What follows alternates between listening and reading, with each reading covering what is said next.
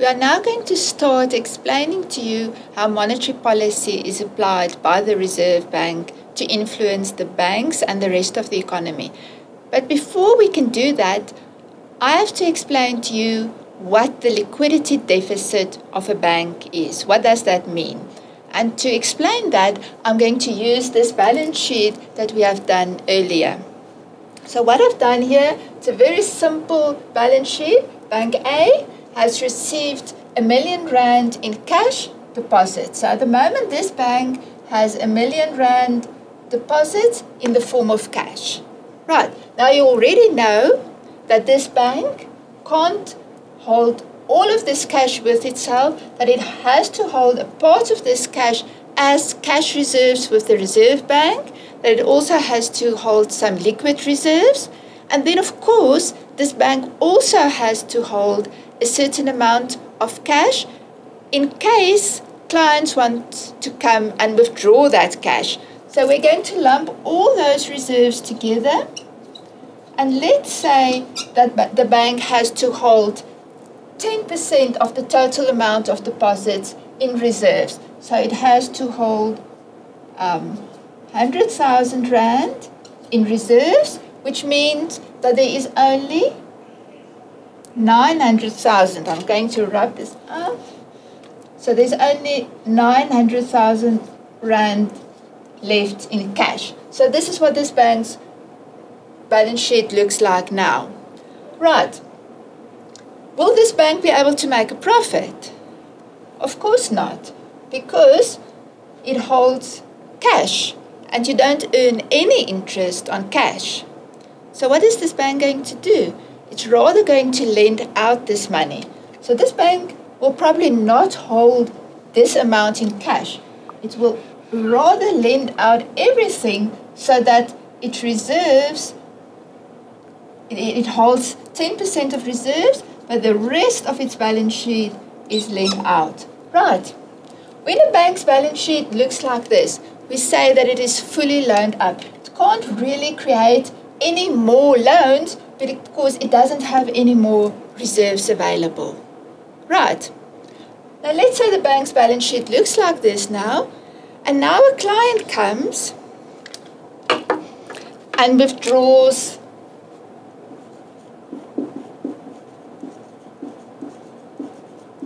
a hundred thousand rand. Right, so a client that holds a deposit now wants to withdraw 100,000 Rand. So what is going to happen? The deposits in the first place is going to decrease to 900,000. Right.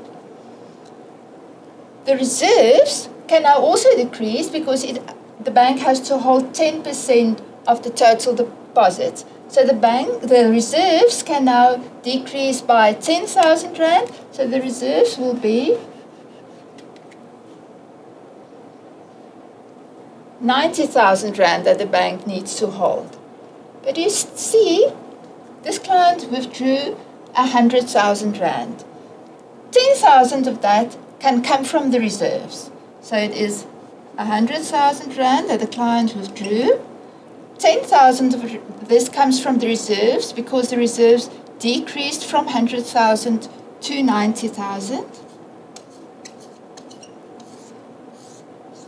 So this bank still needs another 90,000 Rand from somewhere to be able to give to this client. So this bank at the moment has a deficit of 90,000 Rand. In order to be able to give this client it, the 100,000 Rand, this bank has a deficit of 90,000 Rand. Now, how can the bank finance this deficit? Where can the money come from? In the first place, Bank A can go to another bank which may have a liquidity surplus. Maybe someone deposited money with that bank on that day. Right, so Bank A can finance this deficit by borrowing from another bank, let's say Bank B. And we call that interbank lending.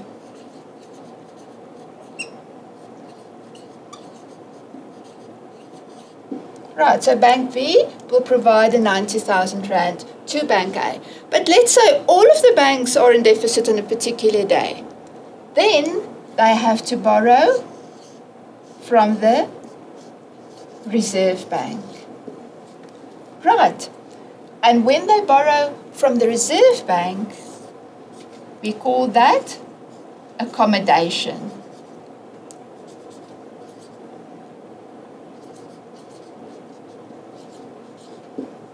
Right. Now, there are different ways in which banks can borrow from the Reserve Bank. The first way is by borrowing against their reserves.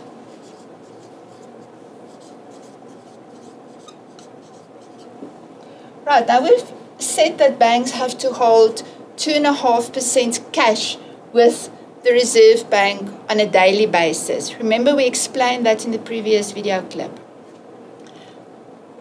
But the banks do not really have to hold 2.5% of total deposits every day. It has to maintain 2.5% over a period of 30 days or 20 working days. Right, so that means that the banks can hold on a particular day when it has a deficit a little bit less reserves. And that is when they borrow against their reserves. But that will mean that at some, on, on some day within the next 20 days, 20 working days, they're going to have to hold more than the amount of reserves, more than 2.5% reserves. So then, on average, over the 20 working days, they still maintain 2.5% reserves against their deposits. Right, so that's the first way in which banks can borrow from the Reserve Bank and also the cheapest because they don't pay any interest on it. Right, then the second way and the most important way as far as monetary policy is concerned is repurchase transactions or repo transactions.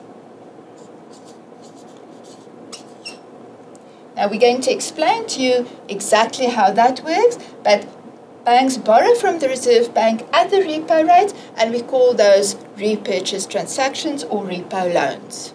And then the very last one we call marginal lending.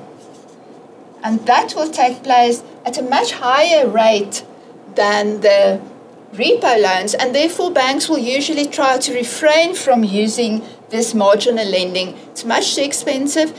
And if you go and look at the Reserve Bank's um, quarterly bulletins, you will see, I think, for nearly a decade, banks have not made use of this marginal lending facility. Right, now in the next video clip, I'm going to explain to you how uh, that, that bank, that the Reserve Bank actually wants banks to come and borrow money from it.